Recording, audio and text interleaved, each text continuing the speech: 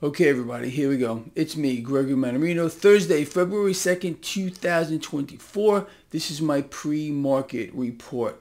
Let's start off with this. So you and I are witnessing, I don't want to really say a phenomenon because you and I called this. We said it would happen and it is. That is, this market seems virtually unstoppable. We don't get pullbacks. We don't get corrections anymore. This thing just keeps going straight up. And for the most part, or I would say seriously for the most part. Because the market realizes, as you and I do, that the Fed is going to start cutting rates. Now, if you recall, just yesterday we heard from the Federal Reserve about, oh, well, you know, maybe not, maybe so. This is nonsense. This is absolute garbage. The Federal Reserve, in case you don't know already, is on a fixed path here. They know exactly what's going on. They have set the stage for it. And they're going to start cutting rates May, June, most likely June. And this market is going, it's going to love it, um, honestly. And that's what's being priced in. Is it possible? Is it possible that come May, June, most likely June, when the Fed cuts rates, the market could drop? Sure, it's priced in. I believe that's what's going on. Now, the issue that you and I are looking at is uh, all the time it's the same thing when it comes to the market. It's the drivers, the drivers, the drivers. There is a sell-off going on here with regard to the debt market. The 10-year yield this morning is higher, 4.34, but the market seems comfortable here. You have to look at this entire thing in, in, in its totality. And the market is sending you and I a message here regardless of risk in the market, which is rising. And the MMRI is 279 and change right now. 279 and change. What does that mean?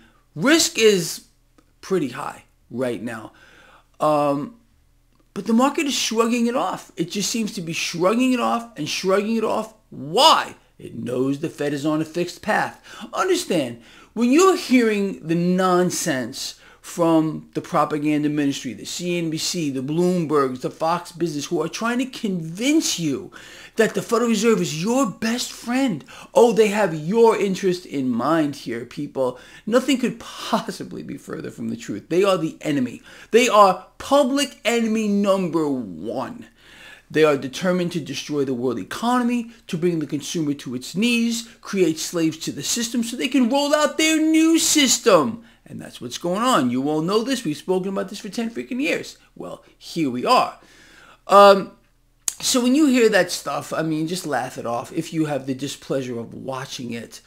Um, the Fed, um, they're going to play their usual game. That is, you know, the back and forth nonsensical kind of rhetoric, but they're on a fixed path and the market knows it. You know it. I know it. Rate cuts are coming, period again, it comes down to a liquidity crisis at multiple levels here. All right. We know you and I, the Fed is pulling liquidity out of this market. Basically, actually, let me put this another way. The Fed's repo program, you know what this is? I've covered this a gazillion times, where they pass vast, vast amounts of cash between themselves, between itself and the major institutions here overnight, trying to trick the market that it's more liquid than it is. The Fed is pulling that back. And you can see this just let your fingers do the walking. Open up a search engine, Fed's repo, and you can see that they are scaling back. No coincidence, people, and you know this too, that war has broken out, war is expanding, and will expand a lot more as the Fed is again uh, pulling back from their, their charade, because that's all it is, to trick the market into thinking it's more liquid. But again, what they're doing here, war, war, uh, again, is this mechanism here that uh, demands that more debt be pulled into the now. Uh, there's no other endeavor on this earth that works like war to create a need for borrowed dollars. Should be pretty obvious, you know, with billions for this and tens of billions for that and this new uh, escapade that we have on. Now, in case you haven't heard, the Houthis have have actually declared war on the United States, um, and they are forbidding any uh, U.S. ships from entering the Red Sea and all that that whole whole thing over there. And uh, it's not stopping. The attacks are going on, and it's kind of an interesting phenomenon to see where this is going to go. We know where it's going to go, and uh, it's uh, pretty obvious to me. Anyway, so just look at again the bigger picture. The bigger picture here is risk is rising in this market. and It's rising pretty fast. All right. The market seems to be shrugging this off. Stock futures are higher this morning, despite the fact that the 10-year yield is higher. Relative strength of the dollar is lower. As you all know, there is a compensatory mechanism with risk that exists between the 10-year yield and the US dollar on a relative strength basis. This is all baked in to the MMRI, Mannarino Market Risk Indicator, link in the description below. Uh, free to everybody who wants to follow it. Um, anyway, so that's what's happening here. Market is uh, convinced, as I am, and I'm sure you are. Most of you are. Some of you don't believe it, but again, you don't understand. For those who don't realize what's happening, it becomes difficult for them to understand why the Fed is going to cut rates in this environment where inflation continues to rise. Has the Fed has no, absolutely no. Uh, what's the word I'm looking for here? The Fed wants to keep inflating uh, as all central banks do, because that's where their power resides.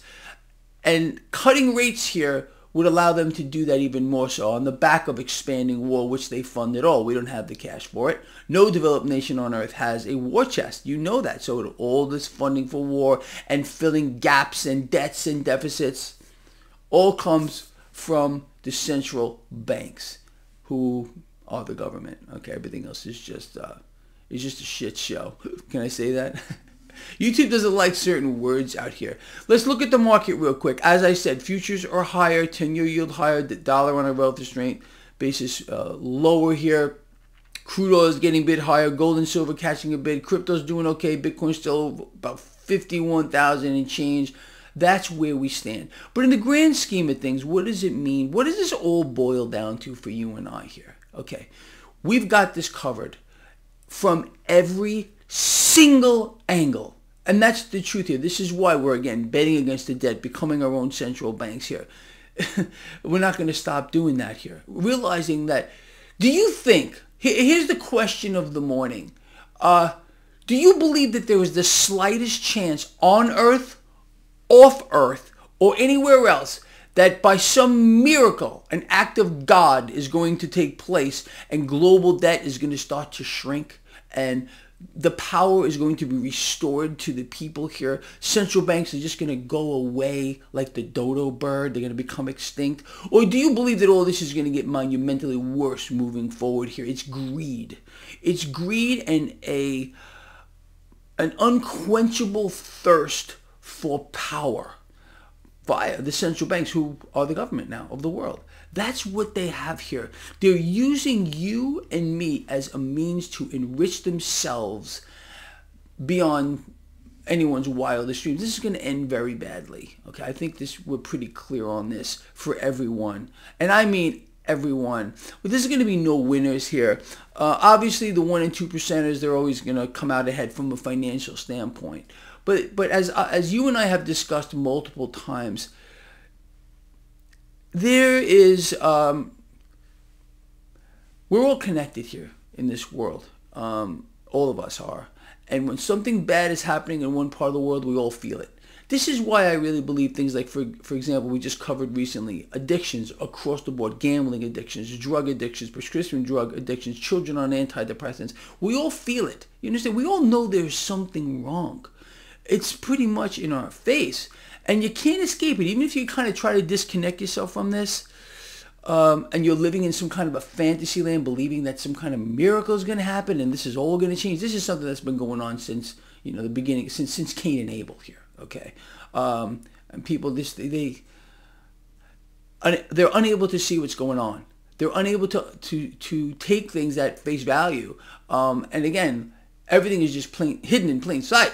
But because they have a false belief, they can't see it. They believe that something is going to occur at any moment that's going to all of a sudden bring them a utopian society or whatever it might be going to happen people just just wake up to reality here and i think you'll be a lot better off um, honestly Anyway, look, like I said, we got this covered. Doesn't matter what they do.